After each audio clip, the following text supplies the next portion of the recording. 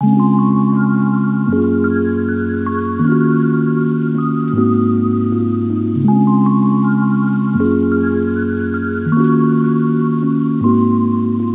you'll want to end up with a piece of fabric like this to fold over your pin in order to make your medal. And I will show you how to make a template here, but I'll also link to some templates on my blog in the video description. So we have our pin here for reference, and you're going to want to include seam allowances. I'm just going to eyeball that and include about a quarter of an inch here. And on this side, we'll also want to include our seam allowance. So I want the medal edge to be here, and our seam allowance should be about this big. So I'll be able to cut this part off. I'm going to go ahead and cut that off right now. You'll need some space at the top to fold over your pin shank here. So the visible part of the medal will begin about right here. And then you can draw the bottom however you want. You can also fold your piece lengthwise and then cut to make sure this part's symmetrical. So I've drawn that and then again include some space for the seam allowance. And then you can cut your template. So in the end, the visible part of the medal will be this area inside the lines. So you can use this to cut out one piece for the front and one piece for the back lining. So I've got this scrap fabric, which works well for this project. And I think I'm going to use this for the front, maybe add a bit of lace scrap, and this will be my back piece.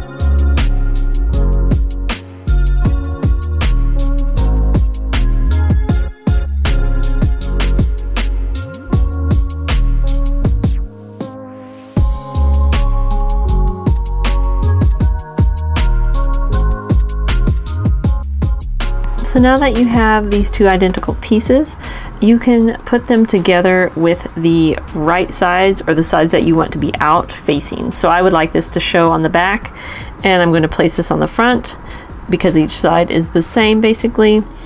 And then you can pin around this and stitch either with a sewing machine or with a hand stitch and leave the top part open. Do not stitch across this part. So I have threaded my needle and for this particular piece I'm actually just going to use a somewhat larger uh, basting stitch or running stitch around the edge. Then I'm going to turn it right side out and whip stitch around the edges. So I've got my thread anchored and I'm just going to make some rather large stitches um, across the edges.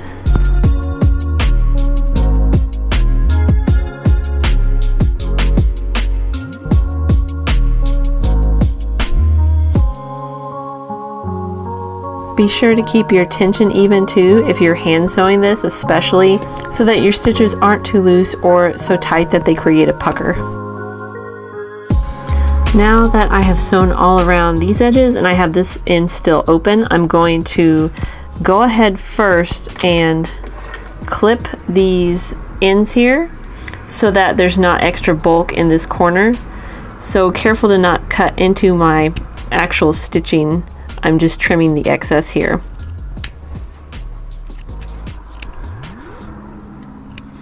I'm also going to cut up to this point here so that there's no puckering around this area when I turn it. Again, careful to not cut into the thread or stitches. I'm also, as I turn this, leaving my thread attached because I'm going to use this thread to then whip stitch around the edges. But first I'm going to tie a knot here so that the thread does not slip around.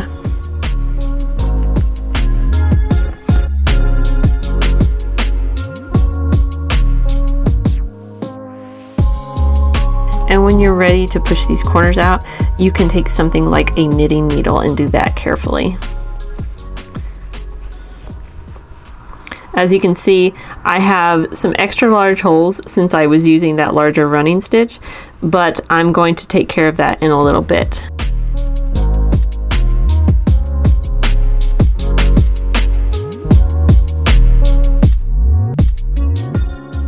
So now using my fingers to just press this edge as I sew, I'm going to stitch a tiny whip stitch along the edge of this piece.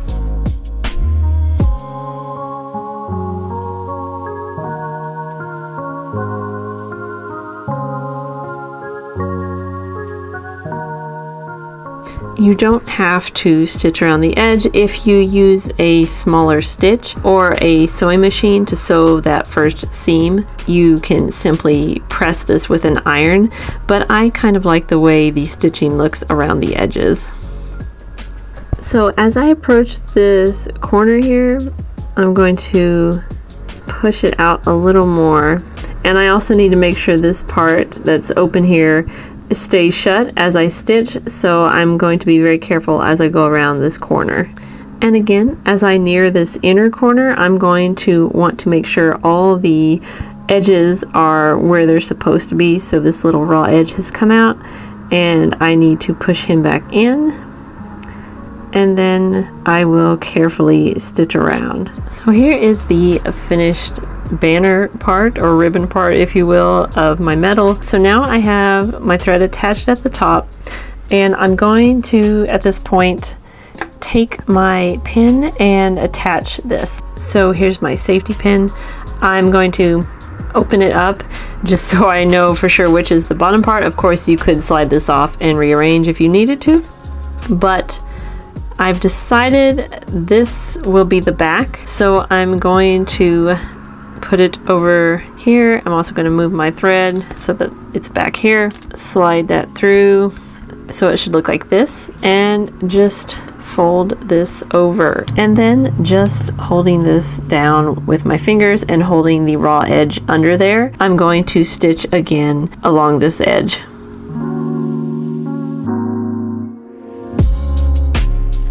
and I am being careful to not go through to the front but if you did that wouldn't be a big deal. Sometimes I do that intentionally so it's really up to you.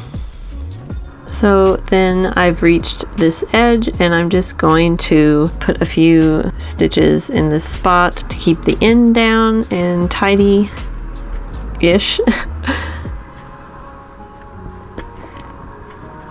And then at this point, you can begin decorating. As you can see, I actually did go through here, but that again, that's fine. And I think adds a lot of character. So I'm going to keep this yarn attached and I think I'm going to find my piece of lace that I had earlier and sew that on. This is, of course, a really easygoing project. You can arrange your pieces any way you want and it looks pretty good almost no matter what you do. I'm just going to lay that there and I'm going to come through the back with my needle.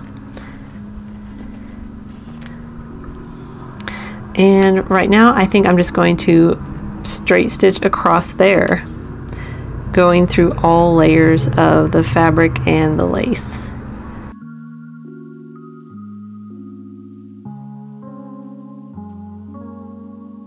And I'm going to tie this off because I'm about out of thread and I will attach some more to stitch on a few other embellishments.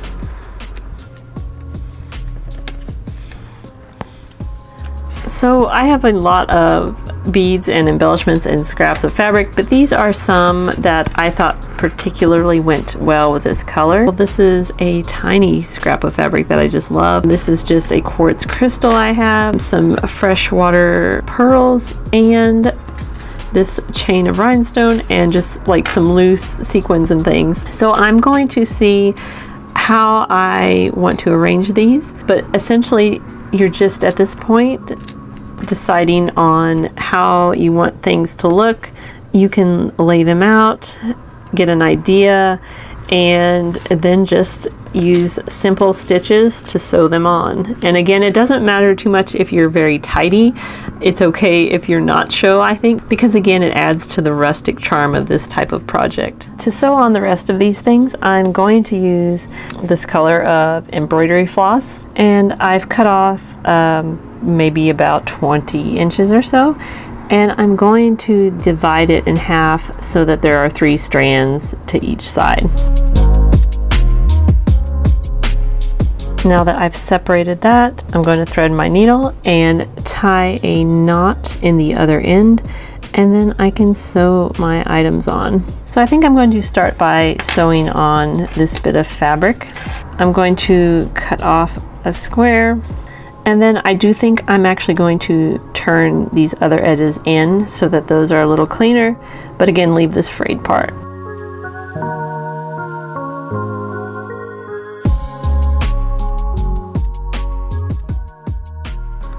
And the other thing to note is that some of your objects, like this particular bead, uh, might have a smaller hole.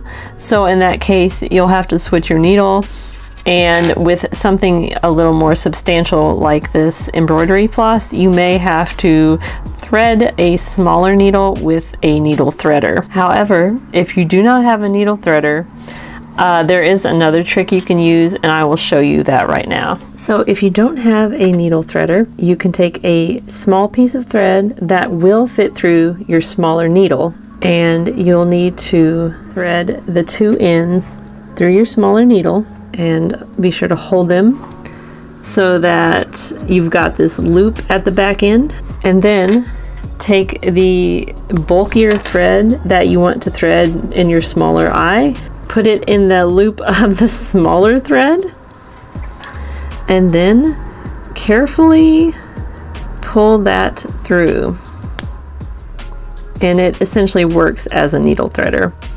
Now, depending on the size of your needle's eye and the bulk of the thread, of course, this doesn't always work. Sometimes thread is just too large to pass through.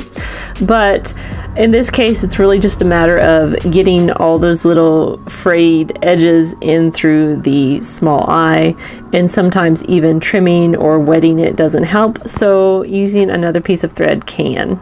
And now I should be able to attach my bead with the very small hole and I will probably pass back through the front again and just go back and forth a couple times through this just for extra security.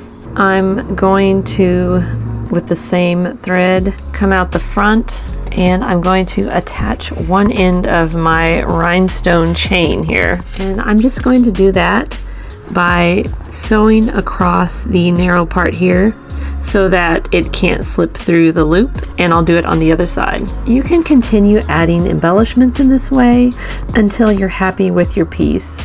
This is a very forgiving project and a lot of fun and a great way to use scraps and odd pieces and found objects, so I hope you'll give it a try soon and share the results with me. Thank you so much for watching and be sure to give this video a like if you enjoyed it or found it useful, and I will talk with you later.